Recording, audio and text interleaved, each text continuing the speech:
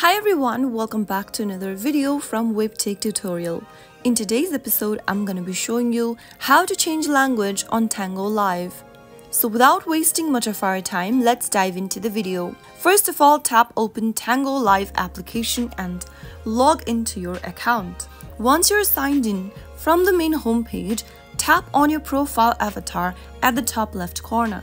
Now, scroll down and tap on General. Under General, tap on Language Settings. You can choose to change the app language or the translation language from these options. To choose and change your app language, go ahead and tap on the app language option. It will then take you to the settings menu of your device from where you can tap on language under preferred language.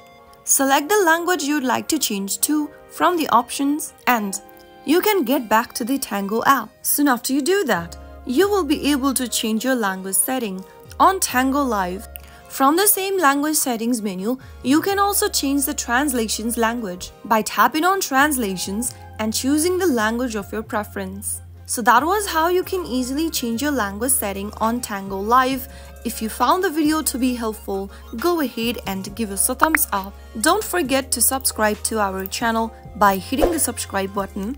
Also press on the bell icon so that You'll never miss another upcoming upload from us. I will be back again in the next video. Thank you for watching.